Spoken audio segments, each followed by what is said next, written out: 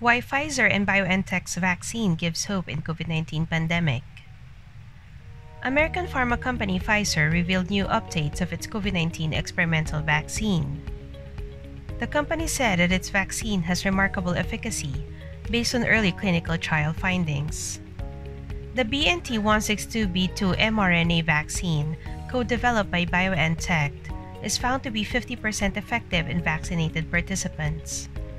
These offers hope to everyone. Dr. Bill Gruber, Pfizer's Senior Vice President of Clinical Development, said, We're in a position potentially to be able to offer some hope. We're very encouraged. According to AP News, the notable initial efficacy may enable the company to push for emergency use authorization.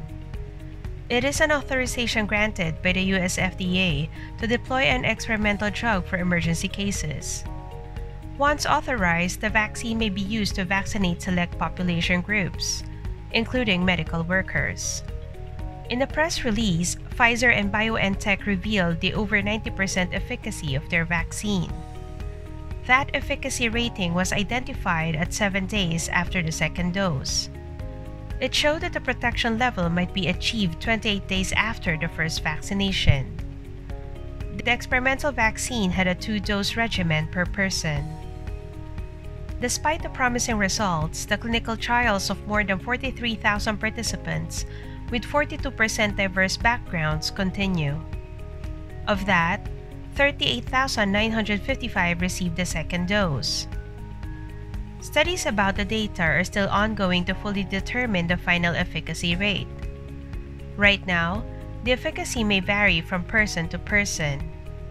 Both companies confirmed that the data will be discussed with regulatory bodies globally. The exact time of availability of the vaccine remains unknown. Pfizer said that safety data may take an average of two months following the second dose to become feasible. If the trials and reviews do not encounter a problem, the vaccine may arrive before the end of 2020. Though the public should know that the supply is limited and will be rationed. Reuters reported the rise in Pfizer's shares.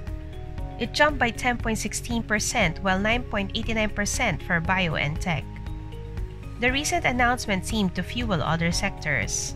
The .SPNY in the energy sector gained 14.82%.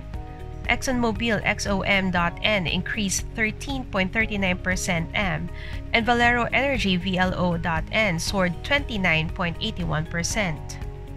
Experts suggested Pfizer likely shifted consumer behavior with good news. If everything goes well, the company might reverse the depressed state of other sectors. Pfizer is not completely involved in Operation Warp Speed.